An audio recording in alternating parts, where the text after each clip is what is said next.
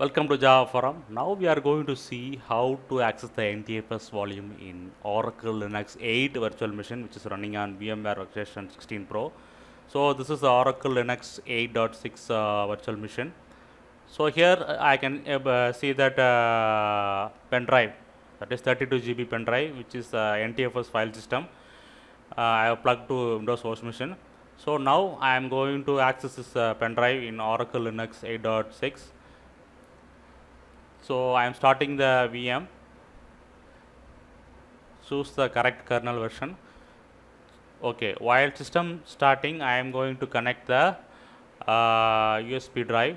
Go to VM, removable devices. So connect the media. So connect the USB drive. So after system is started, uh, let me go to the file explorer. So under file explorer left hand side, left uh, you can see that 31 GB volume is got mounted. When I click it, it's showing unable to access the 31 GB volume, showing that NTFS volume is unknown, which uh, which means that uh, Oracle Linux 8 is unable to access the NTFS volume. So what I am doing is I am login as a root user in terminal. So I am going to one shared directory. So here I have copied the NTFS 3G drivers. So these are the drivers we need to install now. Uh, after installing this driver only, we can able to access the NTFS file systems. That is Windows file systems in Oracle Linux 8.6 uh, virtual machine. So I am installing this NTFS uh, drivers in a single shot.